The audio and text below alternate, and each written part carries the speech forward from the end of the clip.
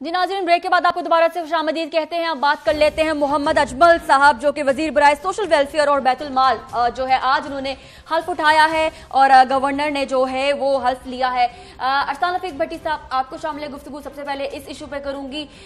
ایک اور ایک اور نئے ایشو کا سامنا کرنا پڑے گا پاکستان تحریک انصاف کو۔ جسٹیفیکیشن دینی پڑے گی۔ آج یہ تمام میڈیا کی بریکنگ نیوز ہے کہ محمد اجمل صاحب جو ہیں، وہ کرپشن کے چارجز میں ملوث ہیں۔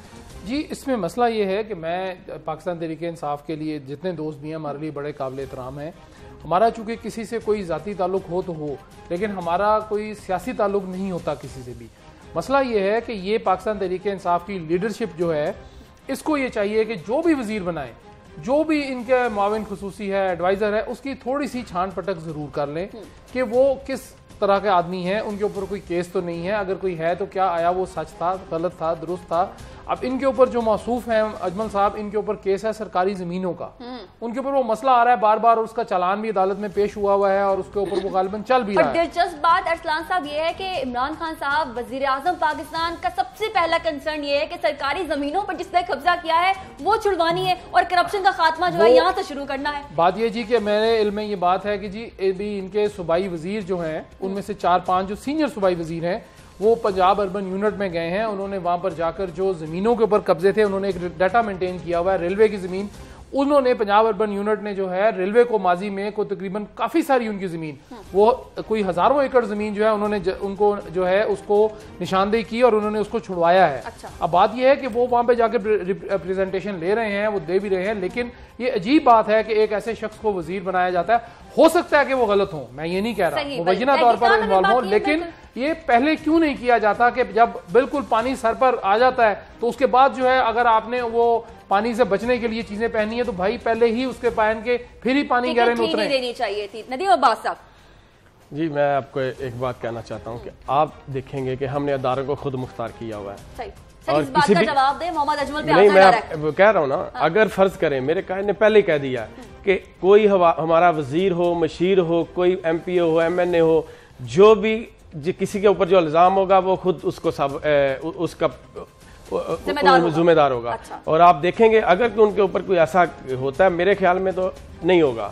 کیونکہ اس چیز کی مجھے نہیں وہ کیس عدالت میں جے دیکھ لیجیے کہ چلان میں ان کا نام ہے۔ جی میری بات سنیں اگر عدالت میں کیس میں دیکھیں ابھی یہ میرے دیکھیں کہ میرے اوپر ایک ایف آئی آر دہشت گردی کی درج کر دی گئی ہے۔ اور اس میں تین سو چوبیس کوئی پاکستان کی ایسی دفعہ نہیں جو نہیں لگائی گئی۔ اچھا۔ اور میں اس وقت اس موقع پہ اس جگہ پہ موجود ہی نہیں تھا۔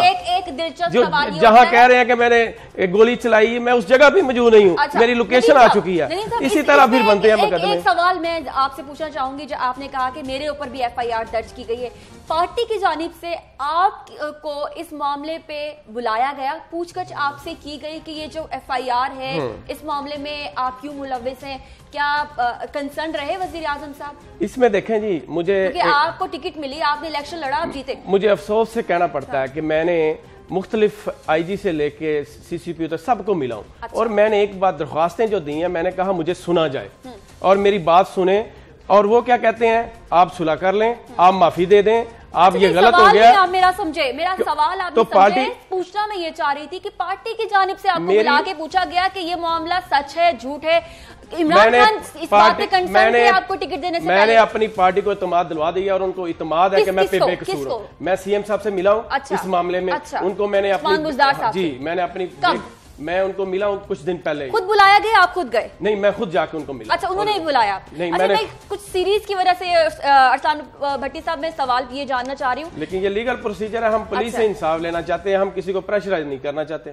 ہم انشاءاللہ نہ کریں گے۔ ہم اپنے میں جہاں بھی جاتا ہوں میں کہتا ہوں میرے تین پرچے تھے دو پرچے خارج ہو چکے ہیں۔ ایک تیسرا پرچہ مقدم ہے اس میں بھی وہ بس ٹال مٹول کر رہے ہیں لیکن وہ وقت ثابت کرے گا وہ جھوٹا وہ خارج ہوگا۔ ٹھیک ہے۔ اچھا بھٹی صاحب پولیس والوں کے اوپر جو مقدمے ہیں میری گزارش ہے ہاں۔ کہ وہ اگر میرٹ پہ دیکھے اگر بنتے ہیں تو ان کے اوپر مقدمے درج کیے جائیں جو انہوں نے دہشت اچھا، گردی کی ہے وہ سسٹم بھی پھر آپ نے ہی ٹھیک کرنا ہے۔ اگر آپ ایم پی ہو کے اس طرح خوار ہو رہے ہیں تو آپ یہ سوچ سکتے ہیں کہ عام شہری کس طرح سے خوار ہوتا انشاءاللہ جی ہم نے پنجاب پولیس کو صحیح کرنا ہے اور لیکن جو شباز پولیس ہے اس کو ہم نے فارغ کرنا ہے جو اپنا کردار اس طرح کا صاحب یہ سوال تو جواب آپ سے بنتے ہیں جی۔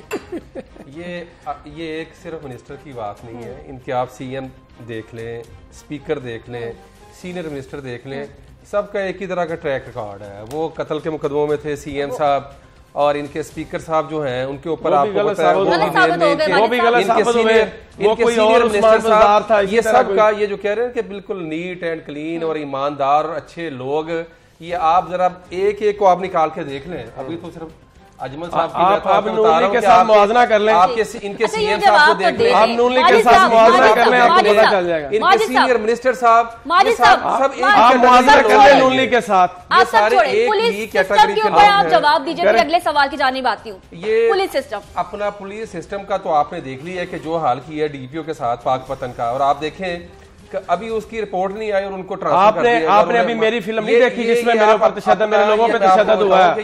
اور وہ اس وقت اٹھائیس کے معاملات، پولیس اور حمزہ شباز گورنمنٹ بنانے کا اعلان کر چکے کی بات کر رہے تھے ہیں، اور جو ہمارے کارکنوں کے اوپر اور لیڈیز کے اوپر جو تشدد ہوا ہے وہ اس وقت شباز پولیس نے کیا سے کہتا ہے۔ کہ جی آپ بتائیں اور آپ وہ کھوکھر اور پیلس کا ایک- نمائندہ آپ تھا جس نے یہ سب کچھ کیا۔ ان کے کیا خیالات ہیں کیا سوچ ہے اور پولیس سے جو ہے۔ آپ نے جی۔ ایک باتیں ڈالی ہوئی ہے وہ ہم دور بتا کریں گے اچھا سے۔ اینڈنگ کی جانب جائیں گے پروگرام جو ہے اس کا وقت وہی ختم ہو رہا والا ہے کوئی ایک ارسلان مثال رفیق دے دیں۔ بھٹی صاحب آپ سے میں سوال والی چاہوں گی ہے۔ اینڈنگ کسی کامنٹ ہے جی پروگرام کا وقت ختم ہو رہا ہے ندیم ضرورت صاحب کیونکہ پروگرام کا وقت ختم ہو رہا آخری آپ- سوال یہ ہے بھٹی صاحب آپ شہنشاہ شروع کریں گے اس کو برخاست کر کے آتے تھے، وہاں پینتالیس معطل وزراء کر کی۔ تعداد کے ساتھ پاکستان۔ تحریک جب جو جاتے تبدیلی تھے کا نعرہ لگاتی ہے۔ اپنا وعدہ آپ پورا جا نہیں کے کر سکے گی اس پہ تو سی ایم کو فارغ ہونا چاہیے کہ جو اس نے حرکت کی ہے اور جو چلیے آپ کا جی، سی ایم تو ایسا جو خود لگاتا ہے۔ آپ طرف جا اپنا- رہے ہیں۔ آپ کا سی ایم ایسا جو لگاتا خود ہے اور خود معطل کرتا ہے۔ کے سامنے یہ ان کے اچھا وہ مجھے سوال آیا جی کہ پینتالیس لوگوں کے ساتھ دیکھیں بات یہ ہے کہ میں پھر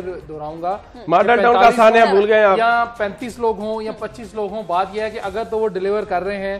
جس طرح حسن ڈاکٹر حسن عسکری صاحب بڑے سینئر تجزیہ کار ہیں انہوں نے بڑے پیار سے یہ ہمیں بات سمجھانے کی کوشش کی۔ کہ کام بیس سے بھی چل سکتا ہے۔ اگر ایک شخص ابھی بات یہ ہے کہ وزارتیں دو دو کی گئی تھی ماضی میں۔ اگر یہ آسٹریلٹی کی بات کرتے ہیں بچت کی بات کرتے ہیں تو پانچ لوگوں نے صرف گاڑیاں واپس کی ہیں۔ باقی لوگ تو سارے گاڑیاں۔ اور میرا خیال ہے اچھا، جتنے میرے دوست ہیں جتنے بھی میرے دوست ہیں۔ جتنے بھی میرے دوست ہیں جو اس وقت کابینہ میں ہیں وہ تمام اتنے کم از کم پیسے رکھتے ہیں کہ ان کے پاس بڑی اچھی اچھی کاریں ہیں۔ اور وہ لاکھوں والی نہیں ہیں کروڑوں والی بھی ہیں ان۔ کے پاس۔ تو وہ اپنی گاڑی استعمال کر لیں مثال قائم کر دیں۔ اگر اتنا ہی مسئلہ ہے تو کر دیں بالکل۔ ہم ان کے ساتھ ہیں۔ ہم بالکل ان کی اس کو جو ہے بڑی اچھی طریقے سے اس کو اجاگر بھی کریں گے اور ہم کوشش کریں گے کہ ہم ان کو فالو کریں۔ لیکن پینتالیس وزیروں کے ساتھ میرا نہیں خیال کہ بچت ہو سکتی ہے۔ ادروائز یہ ہے کہ جی گاڑیاں گھر میں بند کر دیں۔ اور صرف گھر سے دفتر چلے جائیں اور دفتر سے گھر آ جائیں پھر تو بچت ہی بچت چلیے جی میں چاہ رہی تھی کہ ماجد کہ صاحب آپ سے اوپر بھی بیگم کلثوم نواز شریف صاحبہ جی جی۔ اللہ تعالیٰ ہم اللہ تعالیٰ جی جنت فردوس میں جگہ عطا فرمائے۔ ہم ان کے ہمسائے بھی ہم جانتے ہیں کہ وہ بہت غریب نواز تھی غریبوں کے ساتھ بہت محبت کرنے والی تھی۔ ہم ان کے ہمسائے ہیں۔ ہم نے لوگوں کے منہ سے۔ سنا ہے کہ وہ بہت غریب آمین نواز آمین۔ بیگم کلثوم نواز کی۔ جانب سے میں اور میری ٹیم بھی دعا گو ہیں۔ اللہ تعالیٰ انہیں جنت الفردوس کے اعلیٰ مقام پر جگہ عطا فرمائے۔ ناظرین، آج کی ٹاپ سوئی سے ہمیں اجازت دیجیے تمام مہمانوں کا میں شکریہ ادا کرتی ہوں۔ اللہ حافظ، پاکستان، پائندہ باد